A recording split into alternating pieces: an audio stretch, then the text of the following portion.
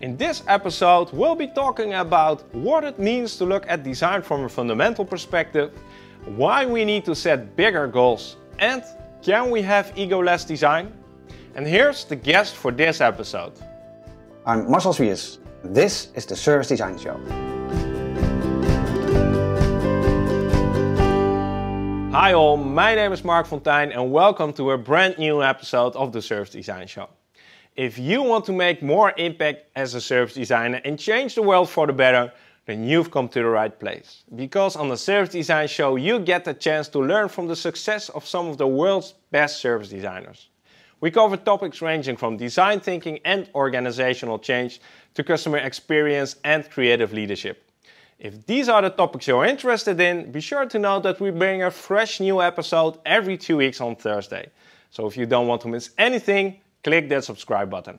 My guest in this episode is someone who recently started an initiative called the Ministry of Design in the Netherlands.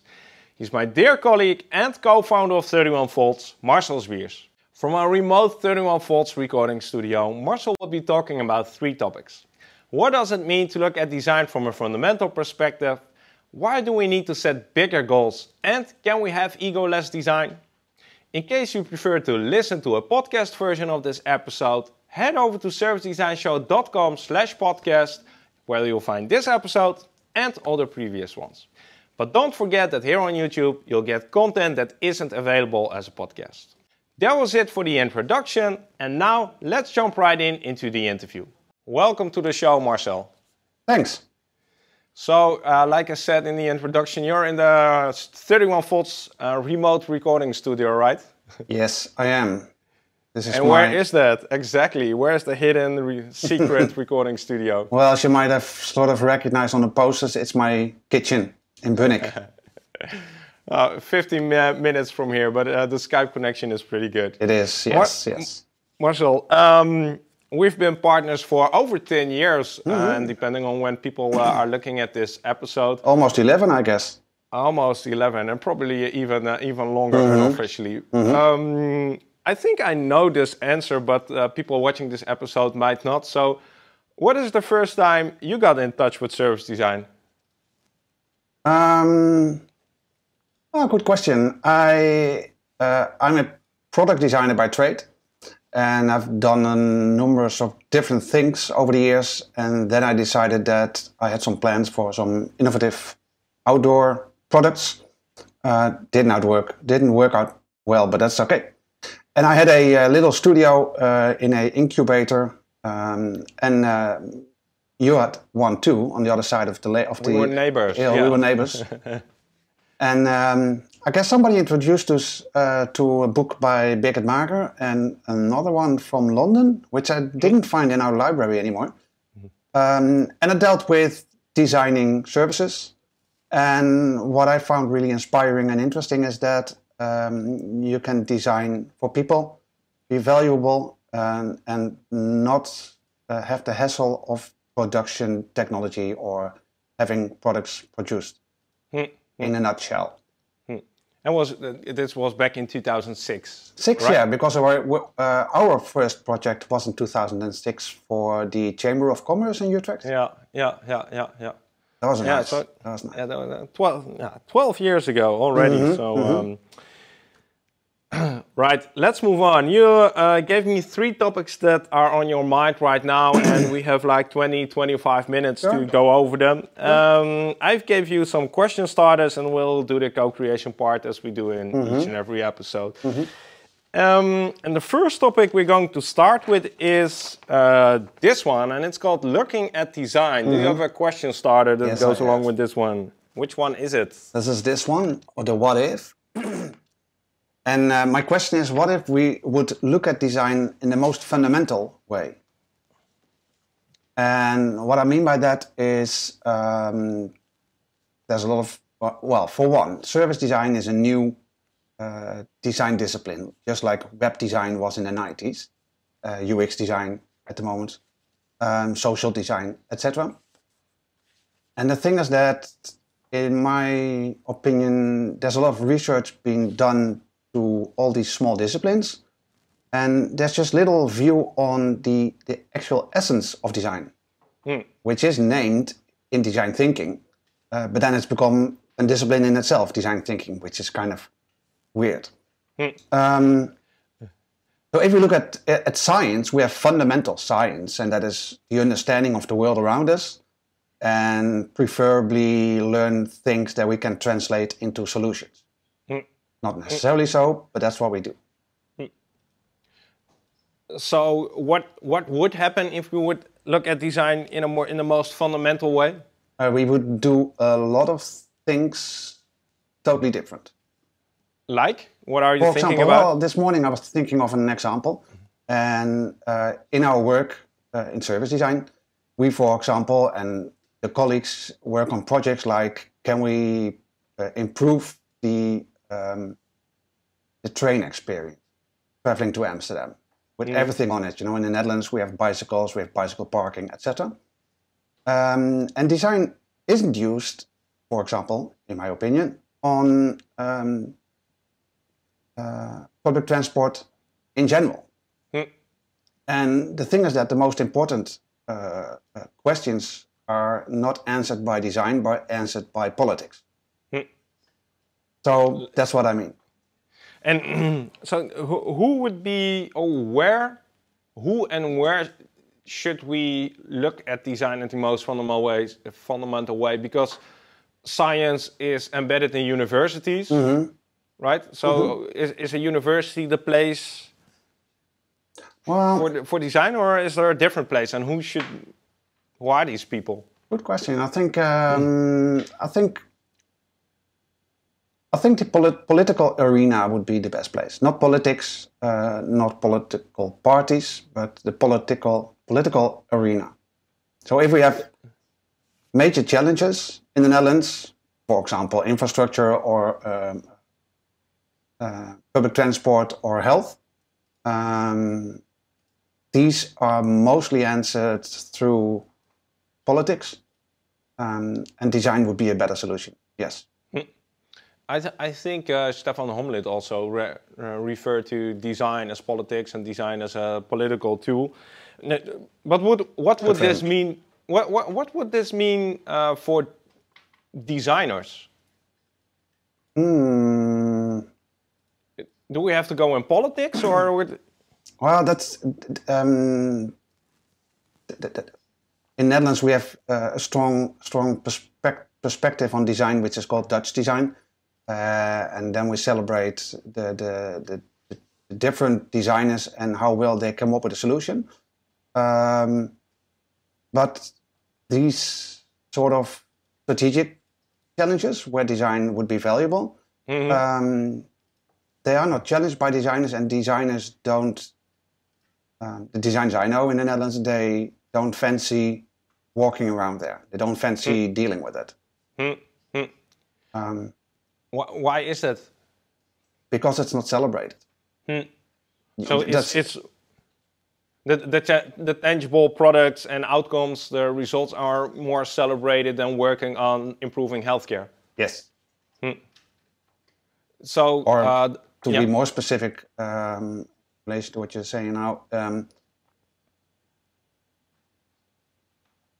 it's it's not a um, it's not the small solutions that make better public transport, but it is the question whether we're doing the right thing as a society. Mhm, mhm. and uh, designers, especially uh, in, at 31 volts at least, we um, we spend a lot of time in understanding what's going on, a lot of time of understanding what the challenges are, um, and only then come to the solution. What What is your biggest question related to um, uh, looking at design in the fundamental way? What what What would you like to under, better understand? Um, well, I'd like to be better understand. Um, I don't know exactly, but um, we, we, we as, as, as at least in the Netherlands, we have constructed um, society and economics and businesses in a way where design is uh, very low on the ladder of influence. um, and that it's it's it's not a, it's not that I think it's um, it's not that I think I want to rule or the designers should rule or should be more important than other people, but it would be really interesting if they would act on a more strategic level. And your question was, what do we need to do? And that is Well, well what is your question related to that? You know, maybe it is how do we get there? Would that be the question? Mm, yeah, sure. Um, well, step number one Yeah. is uh, is that I decided to uh, to found the uh, Ministry of Design, Hmm. and we are already an organization with 25 people, and we'll be having our first uh, uh, Ministry of Design forum uh, on discussing topics like this. Hmm. What does All right. what does what what could the Ministry of Design do for design education, or for explaining to fields in the Netherlands where things are happening that design and designers might have a role or play a role, Hmm.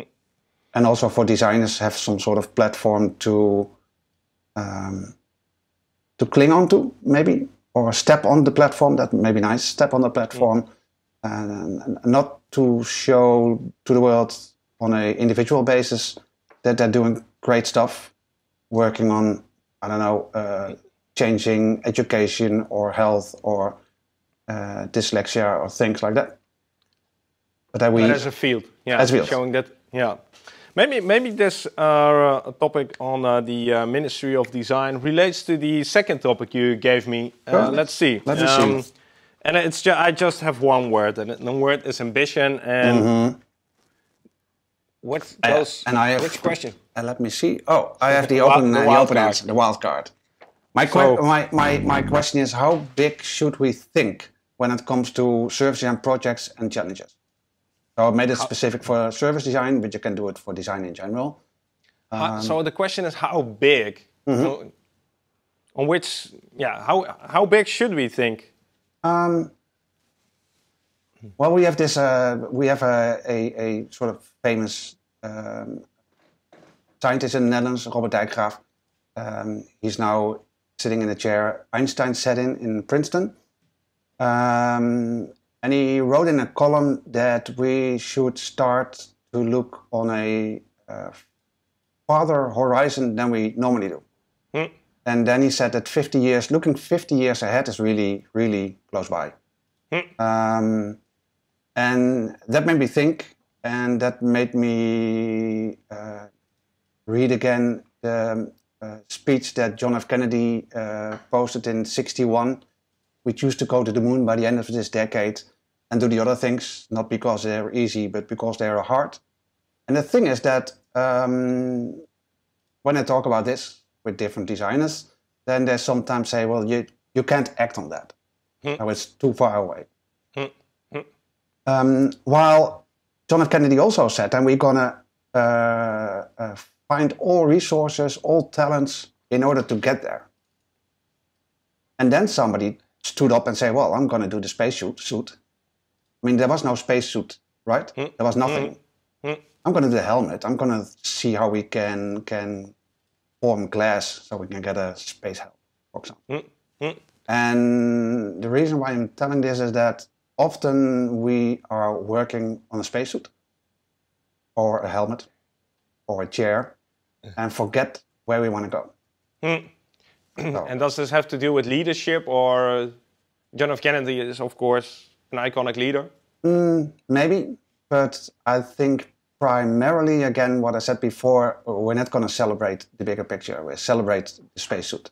So it's better to do a space spacesuit now than to um, uh, uh, better to do a spacesuit now, uh, and even if it's the wrong spacesuit uh, or it's not useful at all, than um, being part of a uh, bigger challenge or a bigger ambition than yourself.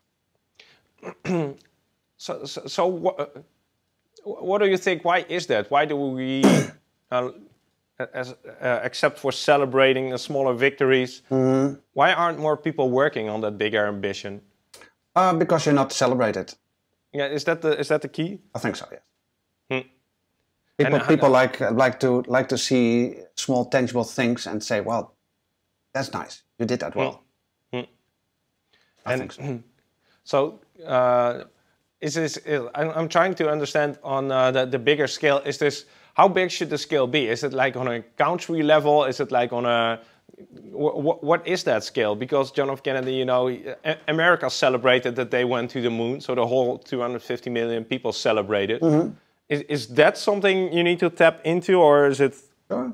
Yeah, and and there's there's there's uh, I think with the John F. Kennedy example, you can like transform any ambition into a serious one.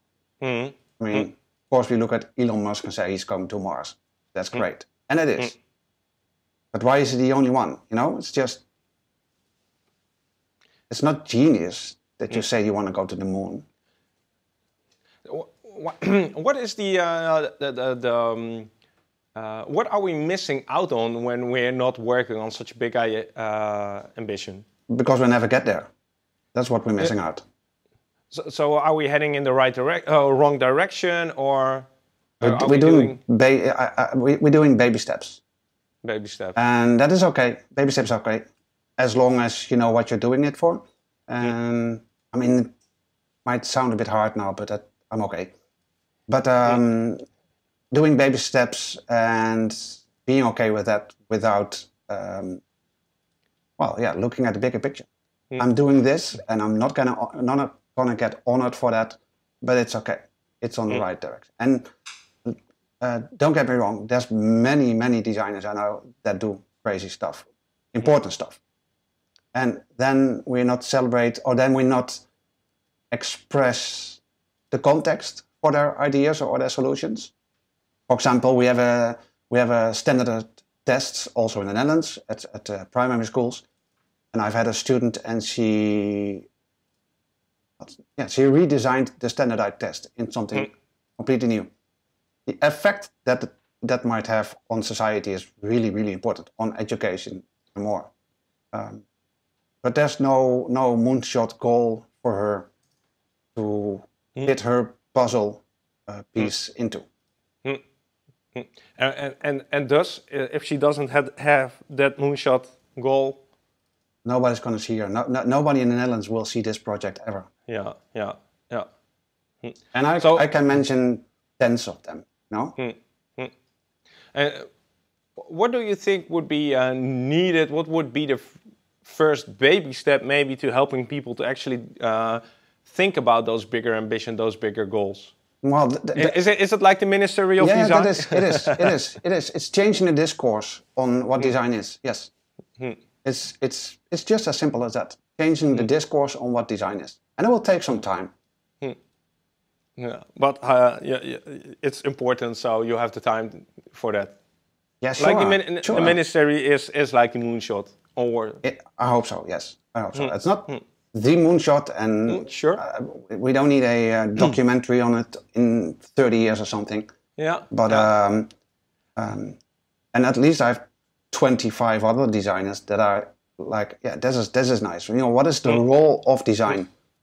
Um, so and and we just we, we, we just skip out on that on so many levels. Well, this already helps me. You know, I, I didn't have that perspective on the ministry, and when you Mm-hmm. talk about uh, this on uh, like a, a decade decade scale level, then Mm-hmm. it becomes much uh, easier for people to join in and help to help to get take the steps toward Mm-hmm. that goal, right? Sure. And maybe um, maybe to add to to to or maybe to reframe something. Sometimes um, being a minister is a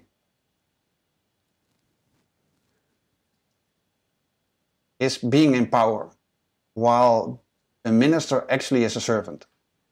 Um, so that's also we. That's really strange. Of course, we need to reframe the frame we have on minister. So anyway, And, and this will contribute to that. I think so. Yes. All right. Uh, well, talking about ministers, uh, this third topic is probably uh, pretty interesting. Uh, this third topic is called uh, Oh, yeah. egoless designer. Yeah. I was. Um, I've I know. What is your oh, question sorry, sorry, sorry, sorry. um, how can we? How can we? Yeah, and uh, the question is, how can we park our ego? Uh, because I've just in preparation of, of, of this interview, I've um, uh, I needed to check what ego exactly is. And uh, the way I uh, constructed the question is, how can we park our ego behind the studio and not in front? That is the idea. So who's we? Let's start with that. Ah, good one. Um, the design sector, at least in the Netherlands. L- let me let me talk for the Netherlands. Yeah, the design sector. Mm. So no fancy shoes, no fancy jackets anymore.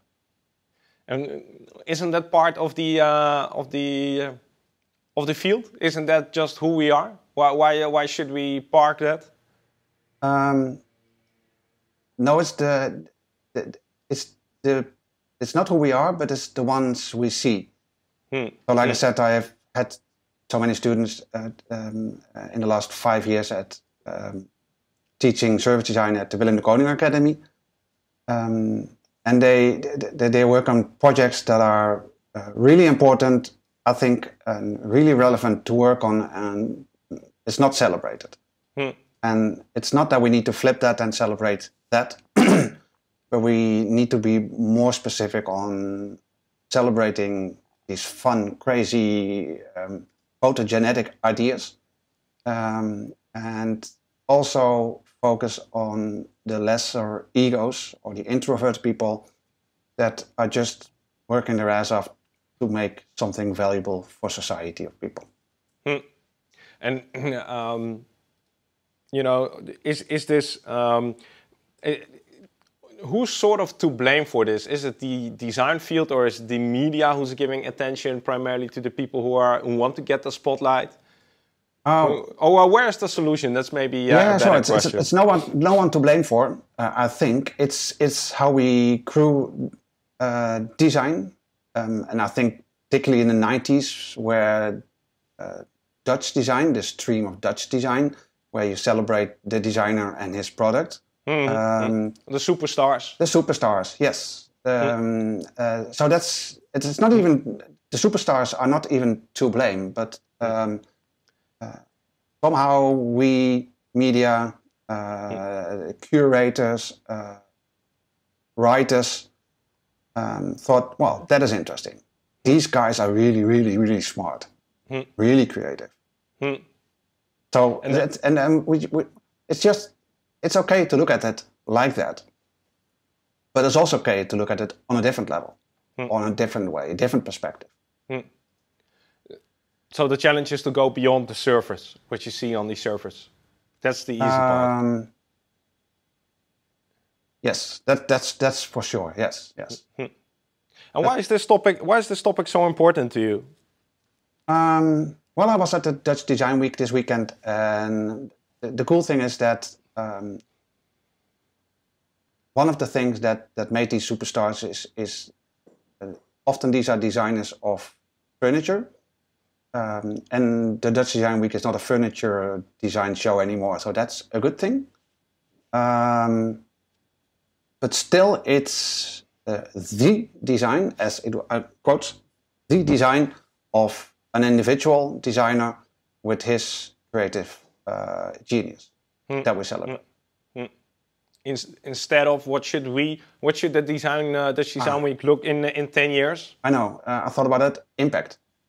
Can we show what it has done for people? That that will be. We, That will we be should lovely. celebrate impact instead of the the hmm.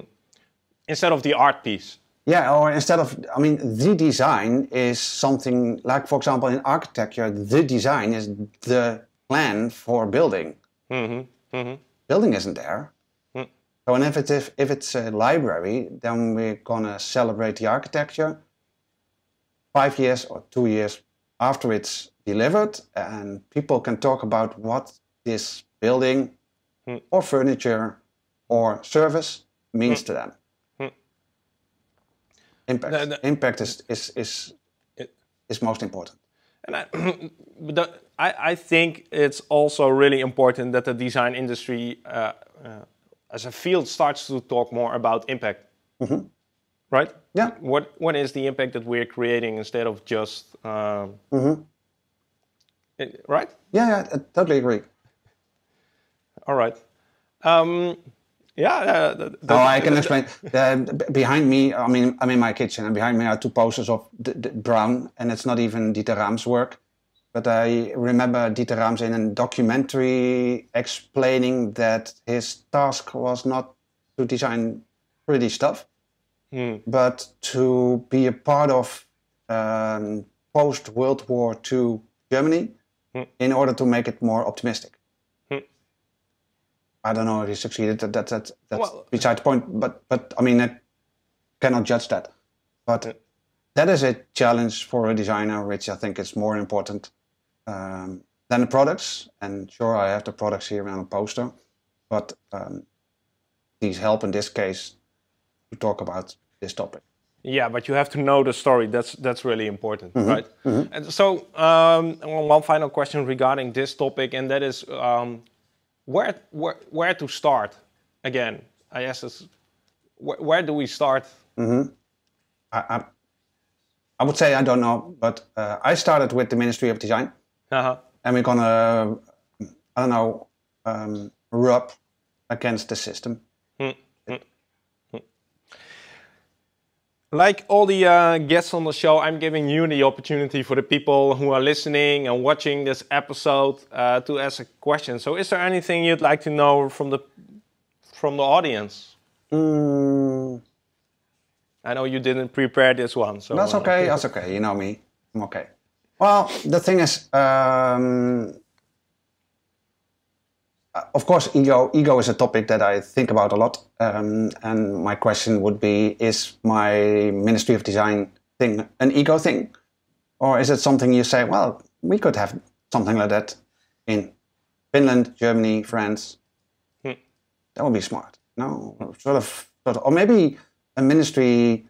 I mean, this is ministry and is on a, on a normally it's of course on a, uh, a country level, but you can also have it for an industry, for example.